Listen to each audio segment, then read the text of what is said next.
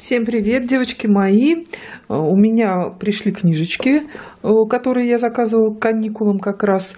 И несколько книг до этого приходило. И как-то получилось, что у меня подборка для Костиного чтения собралась из разных мест, из разных закупок. Я ее решила вам показать. Вообще, меня давно просят именно собрать такую тему, но я обязательно соберу, но просто вот сейчас это будет небольшой анонс нескольких тем, про которые я хотела бы рассказать.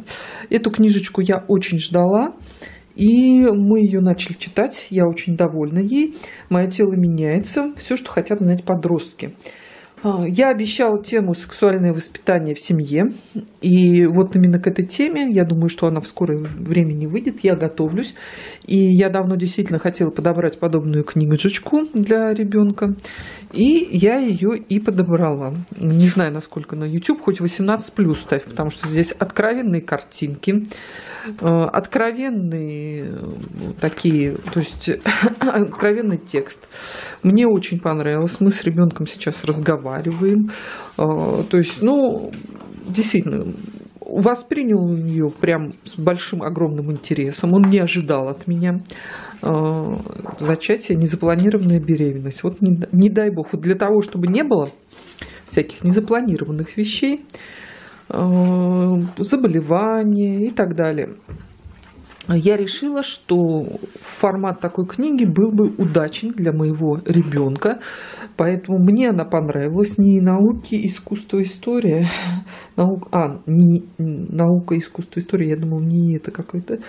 Автор Джерри Бейли. А, то есть все равно придет момент, когда нужно изучать эту тему. Вот мы начали изучать, э, и лучше, чем книга системно, так не расскажешь да, никто. Я сказала, что после того, как он прочитает, я буду отвечать на его вопросы. У нас с ним состоялась беседа краткая по этой книге, такая ознакомительная. Издательство «Клевер». Ссылочку внизу оставлю, брала на Озоне. Так что нам есть чем заняться в каникулы, чем что почитать. Еще какие книжечки я для него приготовила. Славянские мифы. Очень он у меня давно просил и знаете, как, в какой форме просил? Мама, а почему вот про Рим нам в школе рассказывают и про римских богов, про греческих, а про славянских ничего? Знаете, вот ребенок поставил мне такой вопрос. Я, кстати, искала совсем другое издание, но оно не переиздается, хотел там иллюстрированные какие-то. Но мне, конечно, здесь не такие иллюстрации. Я ему говорю, ты знаешь, говорю, ну здесь нет таких иллюстраций. А он говорит, мама, я большой, мне не нужны иллюстрации. И вот здесь почему наши славяне, да, как, как что называли, какие боги были, кому поклонялись, то есть даже с точки зрения исторических, потому что, ну, кого мы знаем, Домового, Кикимору, вот Сварог, как Сварог женщин наказал, ну, Перуна еще знаю, вот про Перуна, Велес, кстати, не знаю, Велес, Велес, битва Перуна Велеса, вот э, к тексту не могу сказать, да, то есть кто-то, может быть, хорошо знаешь Дашбук, то есть э, кто хорошо, может, знает э, славянский, славянскую культуру лучше, чем я, может быть, там скажет, ой, в этой книге там что-то так, что-то не так. Я не могу дать такую оценку. Я сама многие мифы не знаю. Ну, здесь листать смысла нет, потому что это просто вот как текст. Но он прям очень обрадовался и настроен ее читать. Так что посмотрим, сам попросил. И теперь книги о школьниках, ну, то есть вот подростковый возраст. Сложно подобрать уже на этот возраст. Ларс Лор э, написан бестселлер в Норвегии, книга, которую хочется обнять. Это книга про школьницу и про вот какие-то взаимоотношения, то, что волнует и переживает школьник. Вот я на Костином канале, здесь тоже нечего делать обзор именно в плане листания, да, видите, картинок практически нет. То есть это книга уже для чтения, но у меня уже взрослый ребенок. А, так выглядит настоящий предатель. То есть вот какие вот книги чучело читать, понимаете? А, то есть какие взаимоотношения, их что-то что уже волнует, что-то переживает. Поэтому кто какие книги читает вот для возраста 12 лет, пишите мне в рекомендациях, И вот книги для Костиного возраста, я хочу его попросить сделать ему самому обзор. То есть вот когда мы вот это прочитаем, мы остальные все книги соберем, потому что какие-то, про какие-то я рассказывала в смешанных. И мы сделаем совместный обзор. Он со своей стороны, а я со своей. А, то есть довольна я или нет. Это на более ранний возраст, потому что у меня был вопрос, как приучить школьника читать. Ой, как нет, был вопрос, как адаптировать школьника. Вот эта книга один из таких способов приучить, ну, приучить к хорошей мысли о школе. То есть, если ваш ребенок, например, шестилетка, вот, он не понимает, а зачем школа, для чего она нужна, будет задавать эти вопросы. И э, вот очень красочное, красивое издание от э, издательства «Питер». Посмотрите, какая красота. И, кстати говоря, у меня есть сейчас возможность, раз я уж про это издательство э, заговорила, не озвучивала я, вот здесь будет написан промокод, от меня лично я вам его дарю, потому что у меня теперь есть промокоды благодаря вот моим сотрудничествам с издательством. Я им пишу, говорю, кто я такая, что я ваши книги, если покупаю, то я выбираю то я буду делать обзоры, кто-то отзывается. И вот издательство «Питер», у меня теперь много книг э, появляется от этого издательства, оно мне подарило промокод для вас. Так что я его оставляю в описании, где я все ссылочки на промокод собираю, и вы воспользуетесь промкодом Таня Матани даст вам 25% скидки, что очень приятно, потому что в издательстве я очень много нахожу для себя хорошего. Но вот про эту книжечку. Про эту книжечку очень хорошо все.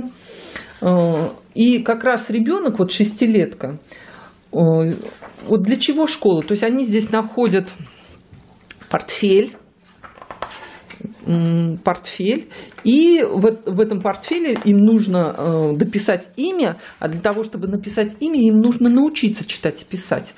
Э, и если они это имя, значит, напишут, то фея принесет им а, вот, вот они находят этот портфель, то фея тогда это, этому человеку разрешит появиться в лесу, то есть она здесь появится. То есть здесь такая тайна. И вокруг этой тайны, значит, все это происходит. Э, книга построена по временам года и по тому, что происходит в лесу. То есть здесь несколько задач. Да? Описывать, что происходит весной, осенью, зимой в лесу и вот это вот отношения в школе, а, какие-то взаимоотношения, то есть, конечно, под этими зверьми скрываются человеческие характеры, а, поэтому рекомендую к чтению, очень хороший автор. А, вот он, это серия уже из книг. Видите, сказки изумрудного леса, школа изумрудного леса. То есть это продолжение, да, поэтому рекомендую, читайте, чтобы ваш ребенок знакомился. Так, ну и несколько книг заодно уже покажу, потому что тоже у нас это сейчас все это читается. От издательства, опять же, Питер, потому что у меня ребенок, ну, во-первых, мы любим технику, но вот у нас как на энциклопедии есть, но не было формата, что самое большое, потому что у меня все время теперь спрашивают, ну что вот самое большое, вот это что самое большое, мы сбегали в Google, но вот теперь у нас а вот есть книга, не книга уж Гиннесса покупать ребенку, да, что самое. Я думаю, что вот на его возраст вот эти вот факты, высотные здания, тяжеловесы в космосе, они достаточно морские глубины, то есть что, что самое-самое интересное, самое большое, что самое удивительное. Иллюстрации вы видите, просто, а, а, ну, не знаю, шикарные, мне очень нравится все иллюстрировано, все подписано, продолжительность жизни, вот кто дольше всех живет. То есть вот такие вот факты, собрана численность, что самое горячее, осторожно горячо, высокие температуры. То есть это все нас очень занимает, поэтому это ну, возраст может быть любой. Это и для Кости, и для Димы интересно, да, то есть для любого такого возраста интересно. И вот эти вот книги, так, про вот эту не буду рассказывать, я несколько раз про нее рассказывала, просто она у меня была в планах закупок. Вот я ее купила, да, то есть, чтобы у нас были вот эти вот стишочки, с которыми мы играем. Э, кратко ее покажу. Э, игра слов сыро-сыро-сыро от раз, ну, как бы, да, видите, сочета... Э, что буквы, слоги меняются местами. Рит-рит-рит-рит-рит-рит, пилку-пилку, купил-купил. То есть, ну, такая игра слов, кто играет, очень мне нравится. И у кого вот не идет алфавит стандартными способами, вот ассоциациями решать алфавитные задачи, обучение букв, то есть через ассоциации, через веселые вот такие вот игры, то вот эта книга очень даже хорошая. Хотя мы уже алфавит знаем, то есть у нас как бы вторая часть больше интересна. И вот про эту книгу, которую ну, вот теперь я задумала тему по этой книге. То есть вот читайте, первая тема сексуальное воспитание, второе, значит, книги для школьника у меня будет тема, видите, такой анонс тем, поэтому я все рассказываю. И про музыкальное воспитание. Ну, это, наверное, дольше всех будет тема. Но про эту книжку просто я в таких восторгах. Она замечательная. Э, мы, э, кто вот мой влоговый канал смотрит, Tech Life, тот видел у меня кусочек. В общем, я сижу, а у меня, значит, начинает музыка играть. То есть раньше папа там читал нам, а теперь включил музыку. Ребята, я вообще в шоке. Я думала, откуда этот звук? А вы тут музыку слушаете? Ну вы уж не лакримозу детям ставите. Это реклама. Ага, понятно. Значит, это вы читаете... Музыку. Музыку. А, и я такая захожу и говорю, вы что это? И звучит опера, представляете? И то есть, когда они дошли, то есть, когда они посмотрели, почему голоса разные, почему, когда там треугольник, то есть, ну, про, про музыкальные инструменты, они дошли до разных стилей и начали их все слушать. И у нас теперь такой интерес к музыке, к музыкальным инструментам, что я даже к обзору книг готовила металлофон, который мне ребенок сказал. Я говорю, а какой ты хочешь музыкальный инструмент? В принципе, я любой готовила, думаю, хоть что-то. Он так запросил именно металлофон, и теперь он говорит, что он каждый день репетирует, тренируется. То есть вот какое- какое-то желание музыки, причем, мне кажется, у него слух достаточно хороший. Посмотрим. А, потому что сейчас возраст такой, когда нужно думать о музыкальном вот воспитании, ну, сейчас это в рамках садика у нас только происходит.